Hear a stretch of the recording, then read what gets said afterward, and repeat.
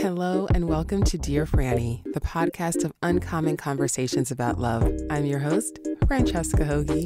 Thank you so much for listening. I appreciate you. I know that you've got lots of other things you can be listening to right now. So thank you for tuning in. And today I am really excited about this episode. It is with my friend London Hughes. London is hilarious and amazingly candid and brave. And did I mention hilarious? She is a comedian, she is a writer, an actor, an executive producer. She is killing it right now. I'm so excited for her and proud of her. In this interview, we referenced award winning and hilarious show To Catch a Dick. And you know, this uh, podcast is for adults, right?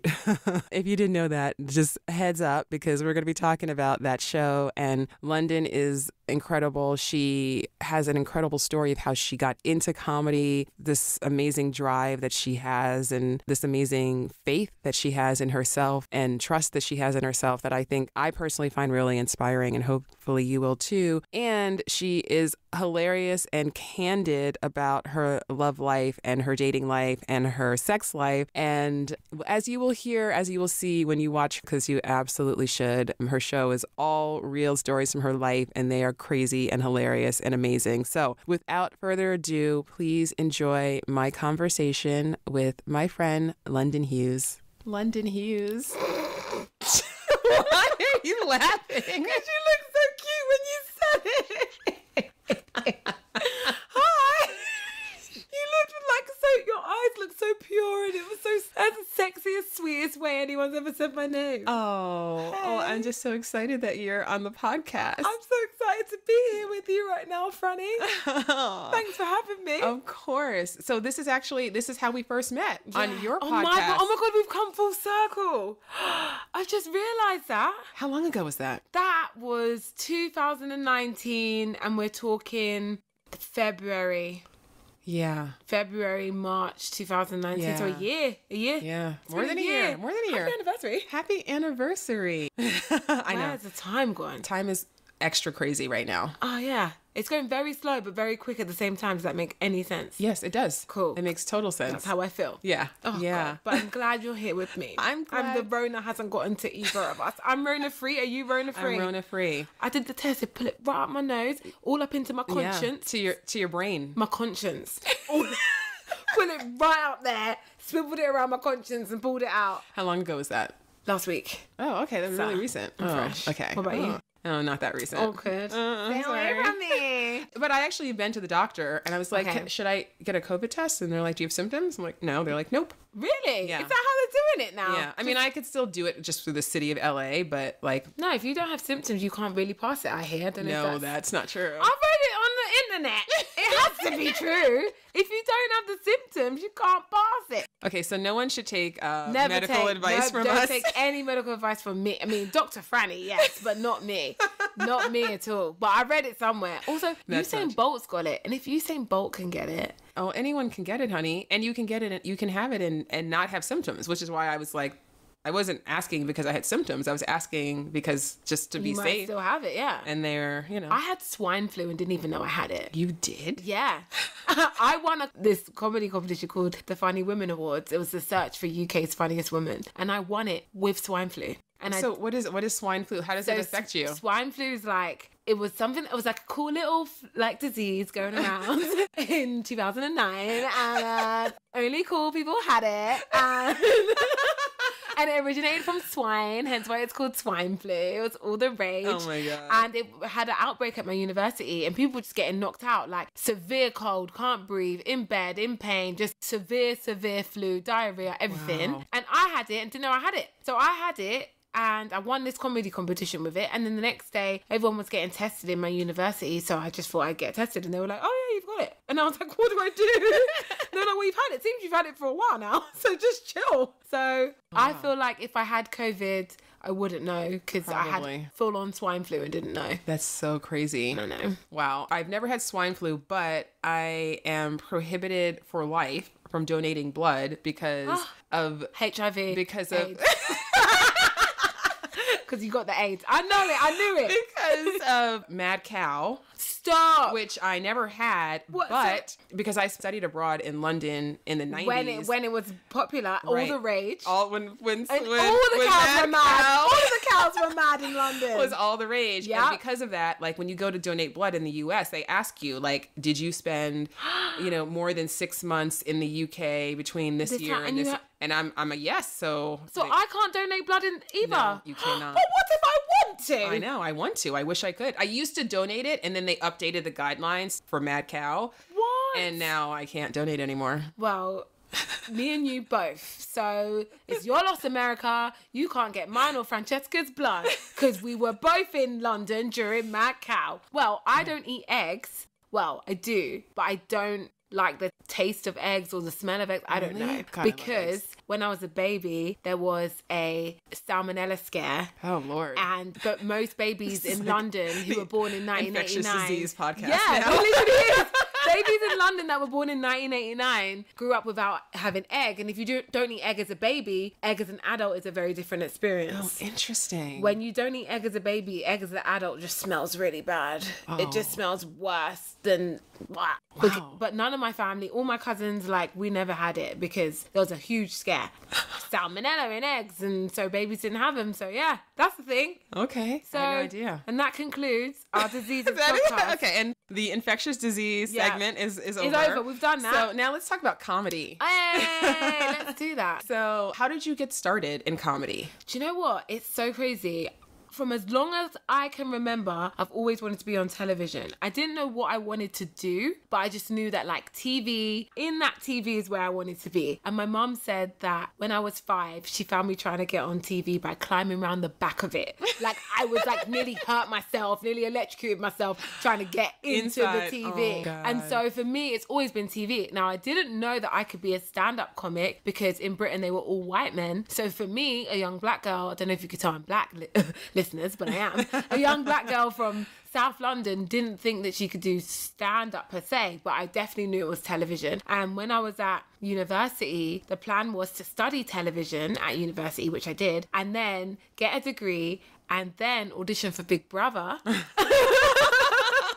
and then like so I have the degree, so I have all the homework done. Then I audition for Big Brother, be really entertaining, be really funny, then get a job and use the skills I've learned from university to combined with my entertainment profile from being on Big Brother to being a superstar. Like that was the dream. that was my British dream. My American Wow. dream was to track down. So I used to watch the credits of TV shows because I thought that in the credits of like The Fresh Prince of Bel Air, I thought that like Will Smith's address would appear. That's why I was going so fast. So I would like watch TV shows and wait for the address, and I was gonna write a letter to Will Smith and be like, "Hi, Will Smith, I'm London Hughes. I'm 11 years old, and I'm really funny, and you need to put me in Fresh Prince of Bel Air." By then, the series had been finished for 12 years. I was watching reruns, but it doesn't matter. I was one. I was like. I'm like, Yeah. the math. I'm Yeah, no, it's it been out. finished. Well, it came to England late, okay? So it already been finished for 12 years, but I'm like writing letters to Will Smith, like, I want to be a star. And that was the dream. In America, it was either go on Big Brother in the UK or get to America and be on like the Mickey Mouse Club. I remember being like 12, yeah, 12 and knowing that Britney Spears made it at 12 and a half. And I remember speaking to my mom, like, Britney Spears made it at 12 and a half, and I'm 12. So what are you gonna do about it? Like, When I- are we going when are to we America? Going to a, I haven't been on Barney. I haven't been on Mickey Mouse Club. What are you doing for me? What are you doing for my career? So I remember like I had these plans and I had all these plans and none of them involved stand-up comedy. Oh my God, And whilst so I funny. whilst I was at university studying television studies, a guy that I was sleeping with was like, "You're really funny. You should be a stand-up." And I was like, "I can't do that." And he was like, "Of course you can. You can do whatever you want." And I was like. Okay, so I like wrote five minutes of like stand up down, and like anyone at my uni who knew me knew that I could dance. I was that girl that was doing dirty wine in the splits on the dance floor in the middle of every nightclub. Like I was like the crazy break dancing, drop into a split robot kind of girl. And so my like president Still are. Still are. My uni president was like, London, we'd love you to dance at our university talent show. And I said, only if you let me do stand up. And he was like, uh, are you funny? And I was like, yes. Have And you I- seen me dance? Have you seen me dance? If I can dance, I can do stand up. And he was like, okay, uh, as long as you dance in the first half, you can do stand up in the second half. So in the first half, I did a dance to Ciara's Like a Boy. Oh my god, is there a video? There's no video, but I Oh. can tell, I can paint the scene. Imagine I was dressed in like a tracksuit bottoms, like Nike tracksuit, sweatshirt, hat back, and I was dancing like a boy. Then halfway through it, I pull it off and I'm in a ballerina dress and I start doing ballerina bits at the end.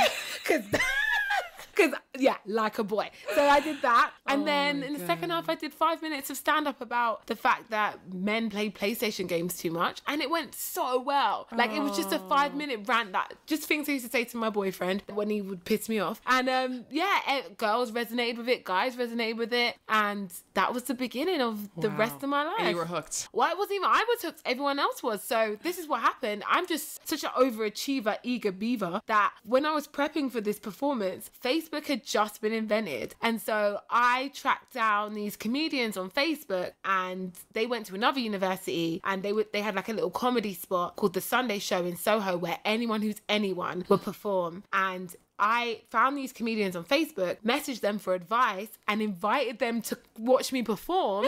and they came. They did? And I didn't know they were They there. came to your school. They came to my university to watch me perform. So when I came off stage and killed it, one of them grabbed me in a headlock and went, You're going to be a star. You are going to be a star. Oh my and then that so I performed on a Tuesday, and by Sunday I had my first gig at the Sunday show. I performed stand up there, the same set, killed it so much that the managers of the event offered me a weekly spot. So I went from never doing stand up before to hosting the night. And when I tell you this was the place to be on a Sunday night, imagine I'm on stage telling jokes. In the audience is Daniel Kaluuya, Adele, performing Ed Sheeran, Sam Smith, anyone who was anyone around that time who was a creative was at the Sunday show. And that's where I used to start doing stand up. Oh my god. Yeah. That's a crazy story. Crazy. And You know was- what? Yeah. I just think of like hearing that story. There's so many people in your situation. If you know your boyfriend or somebody was like, "Oh my god, you're so funny, you should do stand up," would be like, "No, No. I'm not." And you know, I just think that 99% of people would hear that kind of feedback and just totally ignore it. Yeah. I feel like Cause were you like, were you like, maybe this is my way to get on TV? Yes. Yes. Okay. hundred percent. I was like, I'll do stand up and then I'll get on telly, so it'll be fine. I didn't know that I could make money from it. I didn't know that I'd be sitting here in LA, move to America. Right, 10 I'm look- years I'm looking later, out at the pool, You're looking out like- at the pool.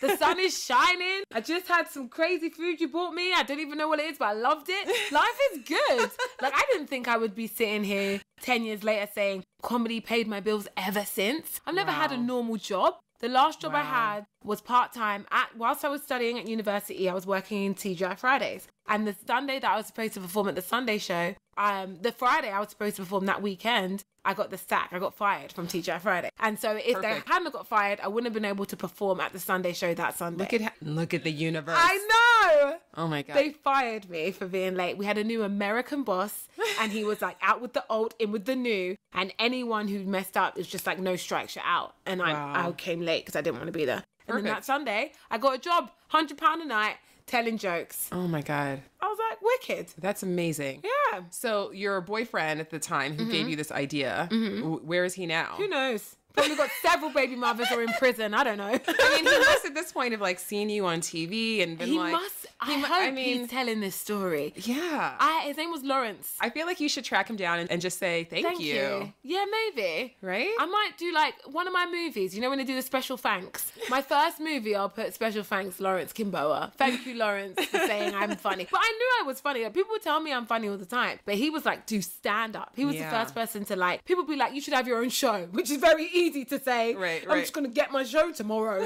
like, do you know what I mean? Whereas stand up was something I could tangibly Do. do. Yeah. Whereas just getting my own TV show would be very hard at 18. Mm-hmm. But yeah, being doing stand up was fine. So Oh my god. And then also the comedians who you messaged on Facebook. yes, I'm still friends with them. You are? Okay. Yeah. So That's one of them lives in. Austin, Texas now. His name's Jamie Howard. He was one of the very first to discover me and was like got me a spot at the Sunday show and Wow. yeah. That's amazing. Crazy. That is amazing. Well, and now you are an award-winning Oh. comic. Oh. Uh, oh. and writer, Yes. creator, Exec producer. Exec producer. I mean, you feel free to share as much of your news as you want to Yeah. share in this podcast. Basically, I have. It's called To Catch a Dick, and Yes. it's about my love life. It's all true, um, and that's insane. And yeah, that's that's something that I'm really proud of, and I can't wait for the world to see it. I can't wait for the world to see it too.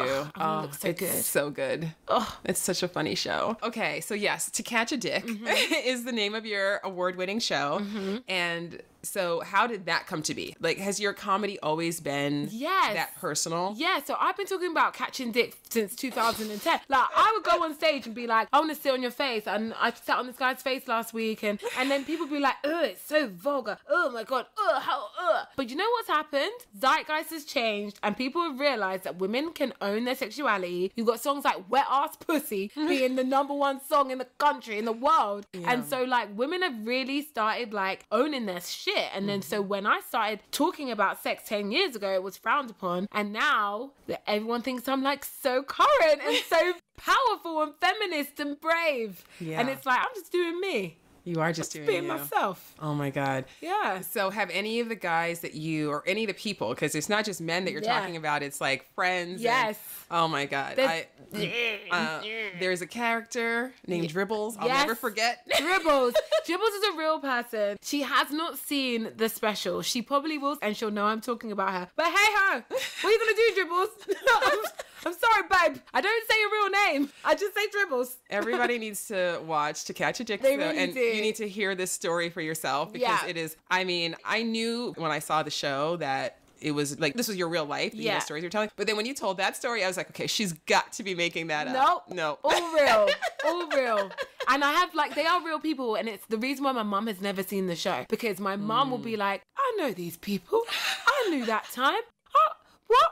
What? Like I'm not gonna give anything away, but Yeah. yeah. she will be mortified. I feel, but then I talk about my mum in the show, and I tell my mum every joke I say about her, Okay. and I've told her, and she's fine with it. She's like, "It's the truth," so she's fine with it. But like, there's my truth that she doesn't know that I'm not fine with.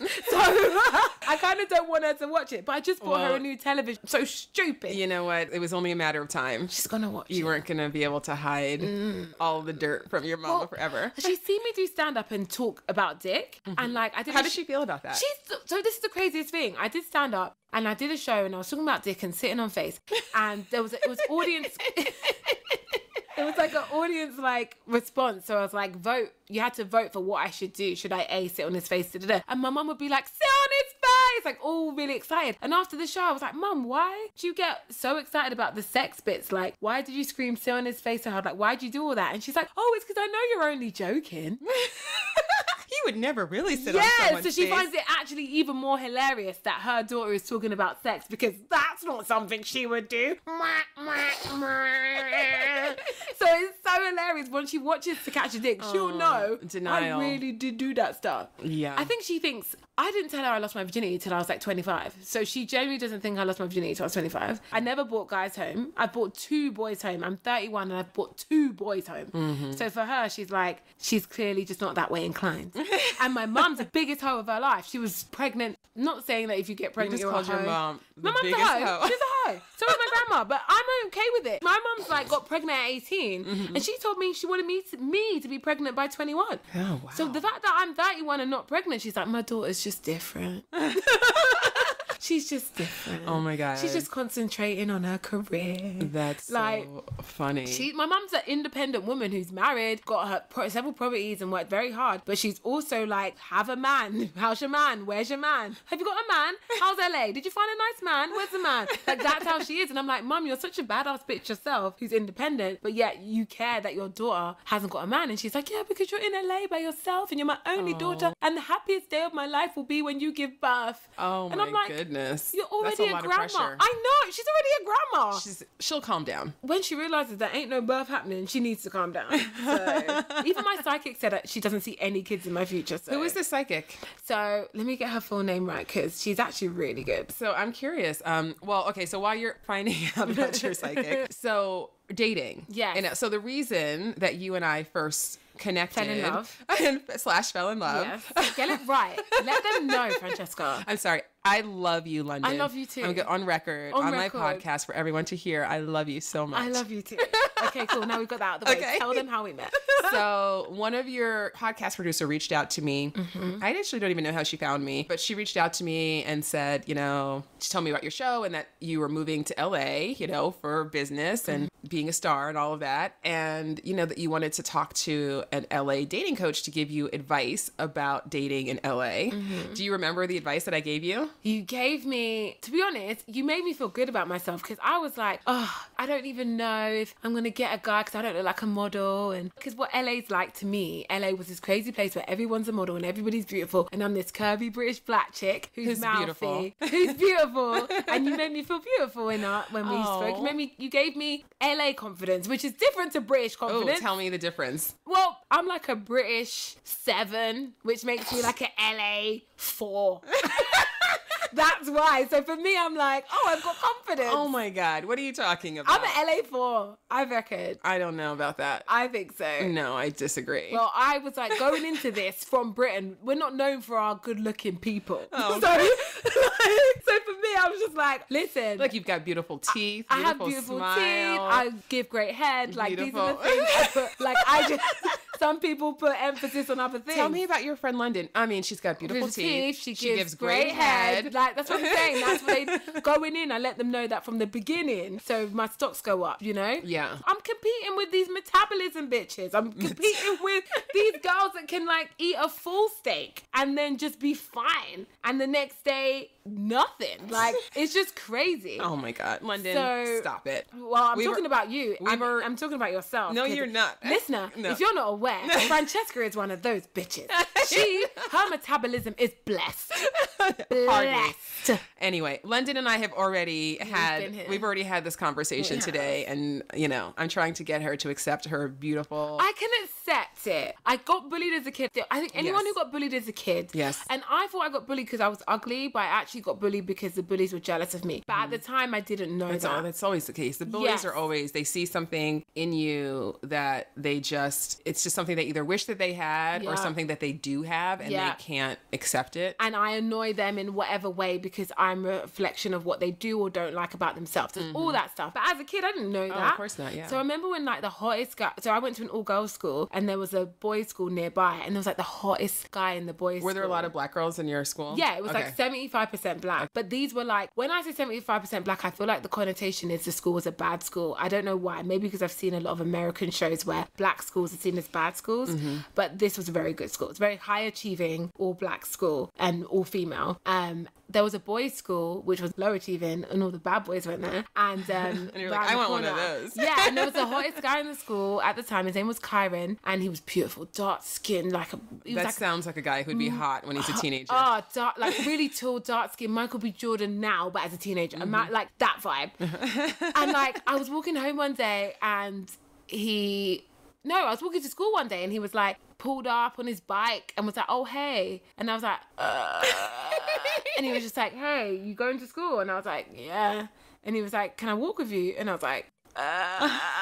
and he walked me to school, and then he was like, "What's your number?" And I was like, is this a joke? And I'm looking around because at the time I hadn't fully grown into my face and I felt like I wasn't cool or hot or sexy. I definitely wasn't sexy. So for me, I'm like, this hottest boy in the opposite school was like asking me for my number, like, is this a joke? And like, there was no one around. It was just me and him, and it was not a joke. He was very serious. There were no cameras. There was You no weren't on cameras. Punk'd. I weren't on punk, and he.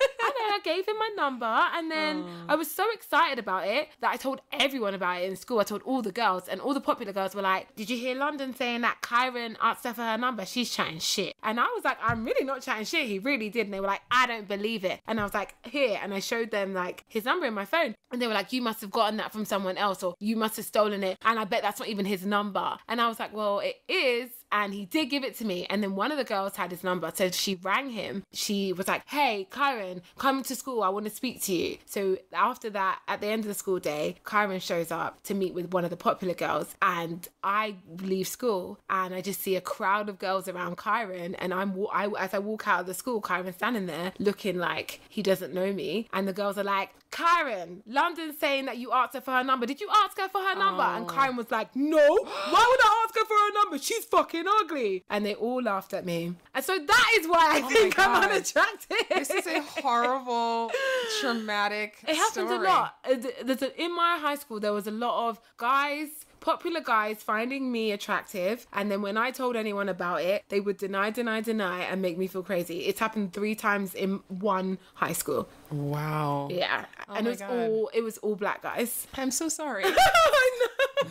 so traumatic. So the, he was the best one. The worst one ended me in me like getting beat up by one of the girls. Yeah, Girl, you've been through it for I've been through it for love. There was a guy that like there's a really popular girl who she had a crush on this guy called Kyle that everybody thought was hot. And I'm like in grade nine, so the ninth grade. So I'm like in the ninth grade in the UK, I'm like 14. Mm-hmm. And this popular girl had a birthday party and Kyle was there and I was there because I was finally infiltrated the popular group. So I was very happy to be there. And so I'm just being cool and like drinking my Capri Sun and like talking about Scooby Doo and keeping it light. And um, Kyle showed up and we were all chatting. I didn't even make eye contact with him. And then all the girls left to go outside. And as I was leaving the room, it was the girl's bedroom. Kyle grabs my arm and he's like, Where are you going? And I was like, I'm just going to follow the girls. And he's like, Come and chat with me. And I was like, ah! So he pushes me down on the bed. Oh, no. And I'm like, This is sexy, but this is scary. And I'm a virgin at this point, never even kissed a boy. And like, he like pushes me down and like, aggressive. puts his face by mine and like goes to kiss me, but then starts tickling me instead. So I'm like laughing and joking and tickling, like laughing and like we don't kiss, but it's very much like he wanted to, but Yeah. then didn't, so tickled me. And then one of the girls walks up the stairs and he can hear them, so he jumps off me and acts like it didn't happen. What? And so I'm like, what the hell was that? And so I, I didn't say anything for the rest of the party. But the next day, I told the girl who was walking up the stairs, I was like, you know, as you were walking up the stairs, you know what you was walking into. She was like, no, what were you and Kyle doing? I was like, well, he pinned me down and like, you know, I think he was gonna like kiss me and stuff, and he tickled me. And she was like, he did that. were you scared? And I was like, I wasn't scared, but you know, he could have raped me. But as a joke, I didn't actually think he would, but I just said, you know, he could have raped me. Oh gosh, you have no filter, girl. No filter. And she went, Are you saying that Carl raped you? And I said, No, I'm not saying that. I'm just saying he pushed me down on the bed. I kind of liked it, actually. And she was like, I don't think this happened. I was like, No, no, it did happen. I'm telling you it happened, but don't tell anyone. Oh, hmm. London, hmm. honey. By the- Here you are. You're still telling everybody all your business. Now you're doing it on stage. I know. But by the end of the school day, I just remember going to the bathroom, to the toilets, and I'm in the toilet stall, and these girls are washing their hands, and one of them goes, London's gonna get fucked up tonight. And the other one's like, why? It's like, because she's going around saying that Kyle raped her and Roseanne really likes Kyle, so Roseanne's gonna punch her up. And I was like, oh, so I ran out of the stall crying, like, please don't let her do this to me. Ah. And she was like, don't worry, don't worry, we'll have your back, we'll have your back. We'll just go and we'll go outside. You won't fight Roseanne, it will be fine. And they pushed me out the school gates, and there's like a whole crowd of people, like literally like fight night. Everybody's there waiting, and Roseanne's this big girl, big, big girl, and she's just ready to knock my lights out. And she's like, So what, you're saying that Kyle likes you? Did you say that? And I was like, I didn't say that. Did you say that Kyle raped you? I didn't say that. Bang in my face. and I was like, Oh my God. And then as I like get up, Kyle arrives, and I think Kyle's here to save the day. And Kyle tries to hit me too. So I drop Are my you bag. kidding me? Nope. I drop my bag and run. Kyle gets on a bike and gets like his belt has like spikes on it, and he chases me on his bike with these spikes on This his belt. This is assault. This is terrible. and I'm running for my life. and no one is helping you. No one is helping me. A few girls picked up my books and stuff, made sure. I think Kyle was going to stamp on my phone. So a girl took my phone, so he couldn't do that. Another girl took my bag. And anyone who helped me, my dad gave them all a book voucher. they all got rewarded. But yeah, I ran all the way home. And by the time I got home, uh, Roseanne, had, who lived around the corner from me, had caught up with me. And she was like, Why are you crying? Like nothing ever happened. This is I can't I'm trying to like wrap my head around this story. Yeah. This is so disturbing. So disturbed. I, so I have those things. Okay, so we also need to you rem- hope you remember first and last names. Yeah, we yeah. have we have the thank you list. Yeah, and then we have the fuck you list.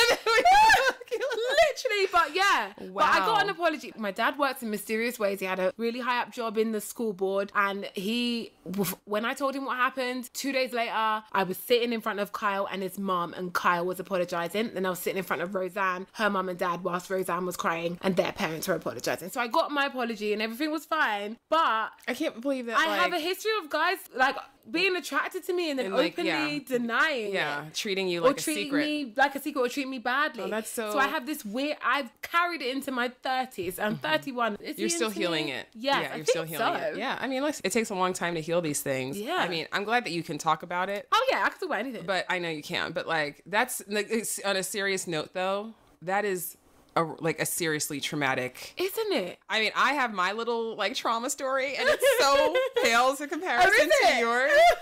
oh my god, I'm so sorry, honey. so yeah, I feel Oh. like that is the reason why, even though I know I'm a queen and I love myself and I know what I bring to the table, just solely on looks, I still have a little thing that's like, mm-hmm.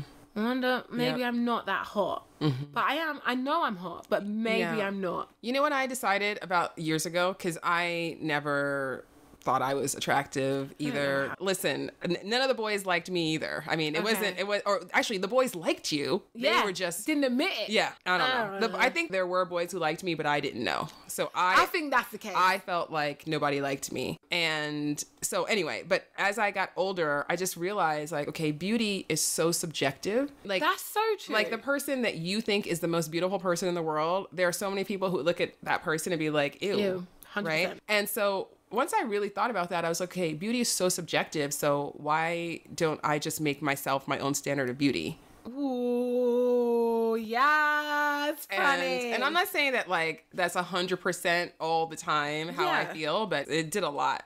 It did a lot for me. I was just like, oh, it definitely did this for me. I never felt like like if a guy didn't like me, I just was like, well, I, I want somebody who likes me. Exactly. So, he doesn't like me, then Then that's your loss. like what am I gonna do about that? Yeah. Like I, I know so I think it helped me to not have it be like it's because I'm ugly or But I, I feel like or That's good because I feel like I need to get to that level of if a guy doesn't like me, because I'm like a guy might not like me for my looks, but he'll like me for my personality, and I shouldn't even have the personality as a as a thing because I'm hot enough for you to just like me for my looks. but, for some reason, But also, do you want somebody who just likes you for your looks? yes, I do.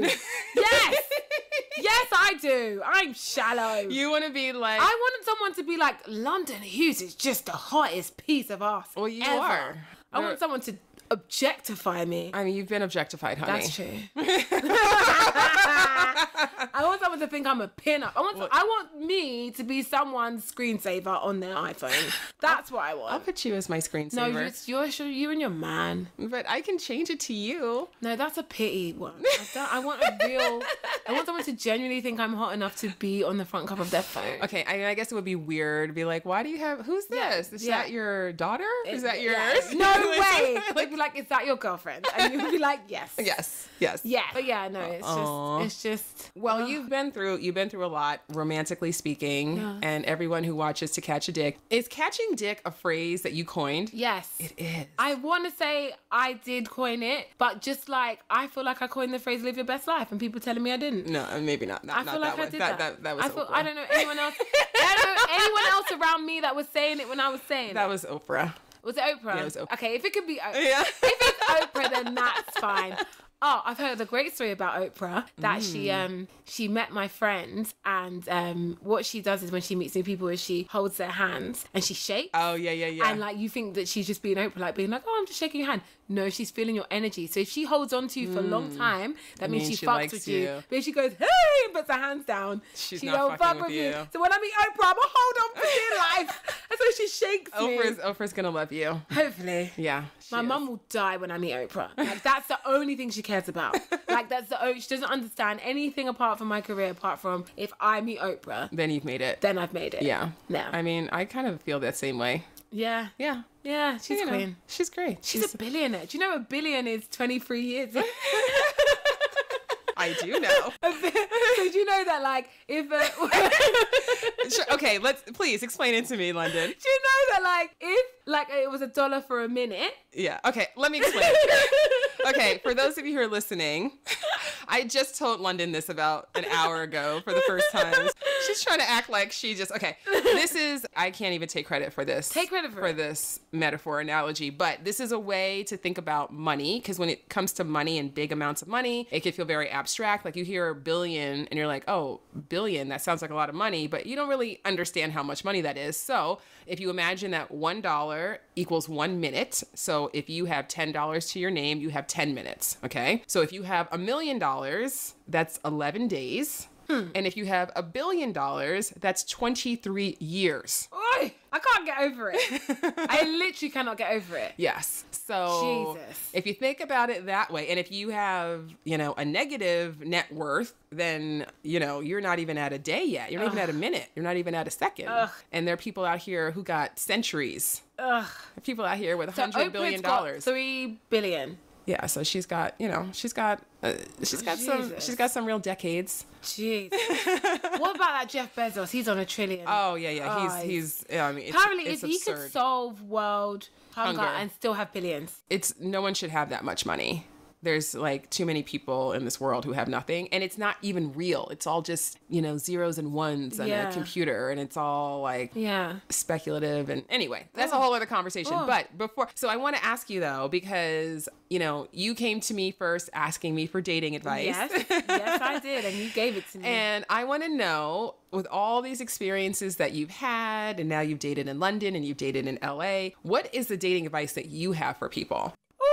My dating advice for people, it varies on the country. My dating advice for people in LA or America in COVID would be get out there. Like I, I'm not doing it right now because they're beneath me, but they're not beneath everyone. But get.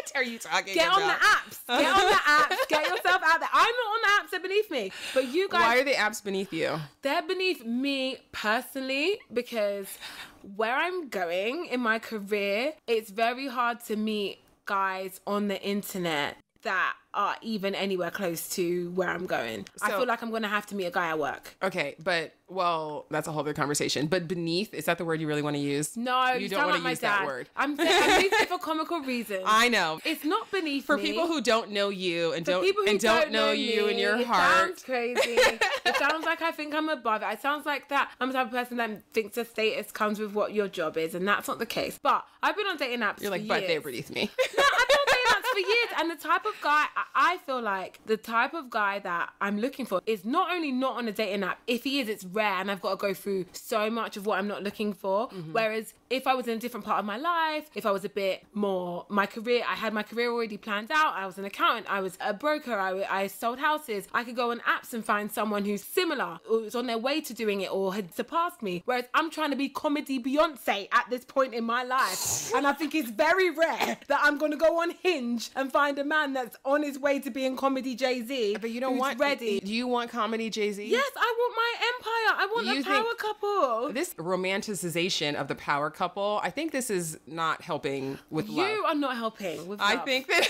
no, I, you're right, but I feel like even if I don't have a comedy Jay Z, Mm-hmm. the fact that I want to be comedy Beyonce is a lot for men to handle. It is a lot for men to handle, but here's the thing I'll say about that, and this is for everybody who's listening, because there are a lot of people who feel the same way. Like, you know, I'm successful, I have this, I have these ambitions, and I need a partner who has that same level of ambition, Ambition, or least. success. But I would just urge you to consider the possibility that actually, like, what you really need is somebody who is going to be your biggest cheerleader, you know, emotionally support you and just be a partner to you, right? Be a I really great definitely want a to you. And so that may be somebody who's very career you know, driven and you know maybe financially successful or whatever and whatever his chosen But industry but it might not be But if he's not, then say if he's like really career driven but broke, Mm-hmm. how are we gonna go to the Hamptons? like okay so like my boyfriend he's a scientist and like scientists i mean he makes you know decent money but like i have much more earning potential than he does Yes, I know, but- and so but my point is though is like i'm happy because he's my partner and he holds me down and also he can support himself it's not like i'm supporting him but let me, let me be clear But what if you had to support him? then I they'd be fine. If I had to, it, like, actually, I fully hope to get to the place in my life one day where we have a house that, like, he's not paying for half of that house. What's he paying for? He's paying for what he can pay for. So do you genuinely like? I'm already- fine to subsidize my partner to live a lifestyle that I want to live. I feel I'm like not- this is different because you're already in love with the man. Like that's how I would feel if I had a boyfriend from London, then he moved with me out to LA, and I became a star. Like I, it's my boyfriend from London when I was broke, of course, but. I ain't broke now, and I'm on my way to being comedy Beyonce. So, like, who am I paying for? Like, I'm not gonna meet a guy on Hinge and him not be able to pay for himself. Like, as long as he, if I'm going to the Hamptons and I pay for me, I'm fine. As long as you can pay for you. I'm meeting guys on Hinge that can't even pay for them. Let me. Well, okay. Obviously, you need somebody who can support himself. I'm just, just is real quick, just to wrap this up.